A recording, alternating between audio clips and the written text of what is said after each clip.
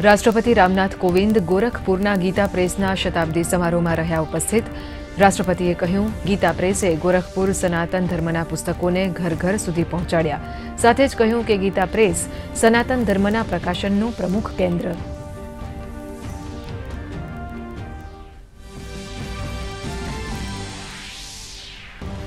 ઉત્તર પ્રદેશના હાપોડમાં બોઇલર ફાટતા આઠ કર્મચારીઓના થયા મૃત્યુ હાલ ફાયરની ટીમ દ્વારા બચાવની કામગીરી છે ચાલુ. દુઃખદ ઘટનાને લઈ પ્રધાનમંત્રી નરેન્દ્ર મોદીએ પણ શોક કર્યો વ્યક્ત.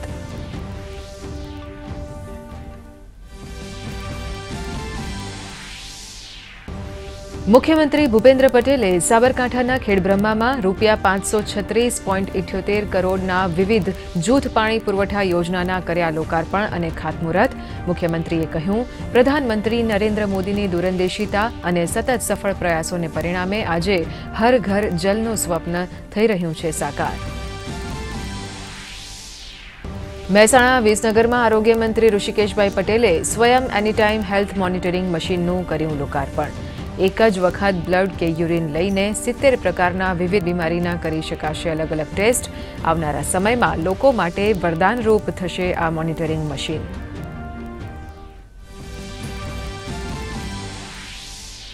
રાજ્યના પૂર્વ મંત્રી અને વરિષ્ઠ નેતા ખુમાનસિંહ વાસિયા આજે પુનઃ જોડાયા ભાજપમાં ગાંધીનગરમાં ભાજપ કાર્યાલય કમલમ ખાતે પ્રદેશ અધ્યક્ષ સી આર પાટીલે ખેસ પહેરાવીને કર્યું વિધિવત સ્વાગત આ પ્રસંગે ભરૂચ જિલ્લાના ભાજપ પ્રમુખ સહિત ભાજપના અનેક અગ્રણીઓ રહ્યા ઉપસ્થિત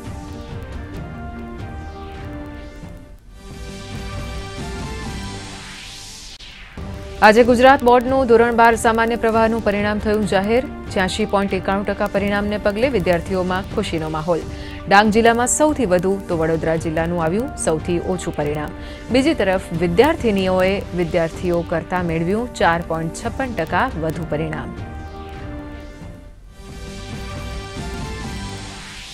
વિશ્વ પર્યાવરણ દિવસની પૂર્વ સંધ્યાએ અમદાવાદના ગોતામાં કરાઈ પર્યાવરણ દિવસની ઉજવણી. યુવાનોએ વૃક્ષારોપણના કાર્યક્રમનું આયોજન કરી લોકોને વધુમાં વધુ વૃક્ષો વાવવા માટે આપ્યો સંદેશ.